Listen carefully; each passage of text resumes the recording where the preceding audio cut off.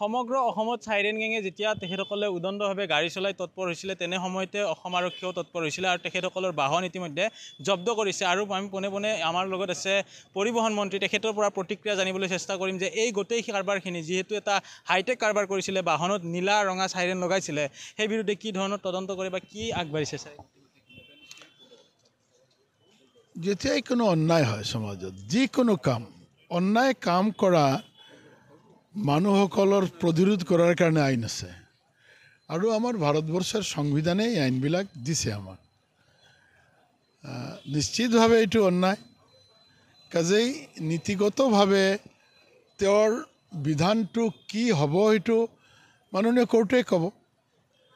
কাজেই ইয়াতে এই কথাবিলাক চলি আছে কেইদিনৰ ফালৰ পৰা আমিও জানো। কাজেই তাৰ বিৰুদ্ধে যি ব্যৱস্থা ল'ব লাগে আইনগতভাৱে নিশ্চিতভাৱে এইখিনি ব্যৱস্থা লোৱা হ'ব। কাৰণ একেবাৰে অন্যায় কাম আৰু এইবিলাক উৎপাতেৰ কাৰণেই বাটপথত এক্সিডেণ্ট হয়। ৰাইজ কষ্ট পায় দুখ পায় মৰে কাজেই এই ক্ষেত্ৰত চৰকাৰে ব্যৱস্থা ল'ব নিশ্চিত আপোনালোক বহুকেইটা ভিডিঅ' ভাইৰেল হৈছে য'ত তেখেতসকলে চিয়ামৰ নিচিনা জেড কেটেগৰীৰ এক প্ৰকাৰ তেখেতসকলে লাইন বনাই গৈছে ৰাষ্ট্ৰীয় ঘাইপথত। কথাটো হ'ল যে এই কামটোতো অন্যায়। আপুনিও জানে আমিও জানো ৰাইজেও জানে। তে যিকোনো অন্যায় কামের বিৰুদ্ধে আমি ক'লোৱে আপোনালোকক যে আহ, বিৰুদ্ধে যাতে আমি ব্যৱস্থা লোৱাৰ কাৰণে আমাৰ কনষ্টিটিউশ্যনে আমাক আইনের অধিকাৰ দিলে এই আইনগতভাৱে যি ব্যৱস্থা হয় সেই ব্যৱস্থা লোৱা হ'ব। এতিয়াতো মই ধৰক ন্যায়ালয়ৰ কোনো অধিবক্তা বা আমি জজ নহওঁ যে মই মন্ত্ৰী ই- ব্যৱস্থাটো ল'ব লাগে। মন্ত্ৰী হিচাপে ক'লো অন্যায়। কাজেই এই অন্যায়ৰ উচিত বিচাৰ। কেনেকুৱা হ'ব নিশ্চিতভাৱে আইন নিৰ্ধাৰিত কৰিব। দোকানত এইসমূহ পাৰ্টছ বিক্ৰী কৰিছিলে সেইসমূহৰ বাবে চাওক কোনো ঠাইত যদি এনেকুৱা তেওঁলোকে কোন ঠাইৰ পৰা কিনি লৈ গৈছে মই নাজানো পুলিচে ওলাব।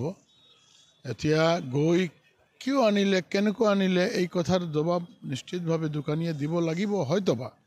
কাৰণ দোকানীবিলাকেও জানে আজিকালি যিসকল মন্ত্ৰী আছে বা এনেকুৱা ইম্পৰ্টেণ্ট মানুহ আছে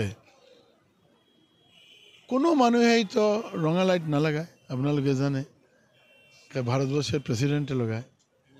হয় হয়।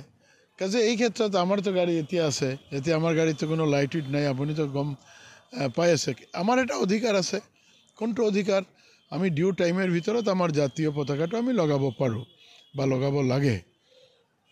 কাৰণ আমি কনষ্টিটিউশ্যনৰ জৰিয়তে আমি কাম কৰি আছোঁ।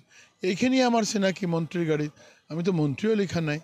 কাজেই আমাৰলৈকে ৰেষ্ট্ৰিকশ্যন আছে।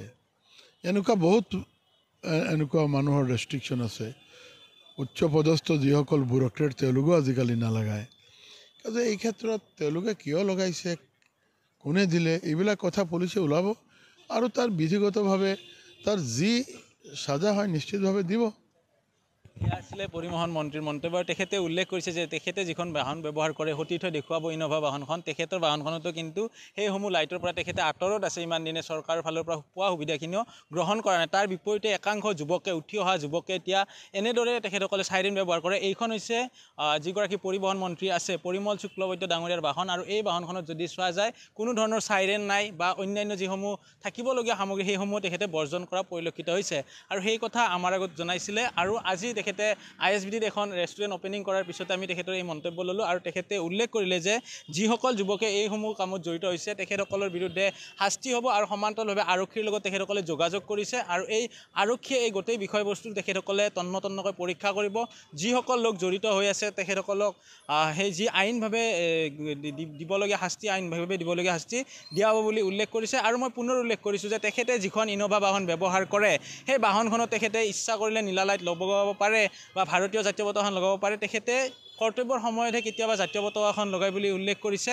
আৰু সমান্তৰালভাৱে নীলা লাইট তেখেতে কেতিয়াও ব্যৱহাৰ নকৰে বা তেখেতে যেতিয়া ৰাজপথেৰে আহ যাহ কৰে তেনে সময়ত কিন্তু এনেদৰে তেখেতে কেতিয়াও নীলা লাইট ব্যৱহাৰ কৰা পৰিলক্ষিত নহ'ল। তাৰ বিপৰীতে যিসমূহ উঠি অহা যুৱকে এইসমূহ নীলা লাইট লগাইছে সেইসমূহৰ বিৰুদ্ধে শাস্তি হ'ব বুলি ইতিমধ্যে ঘোষণা কৰিছে আমাৰ আগত।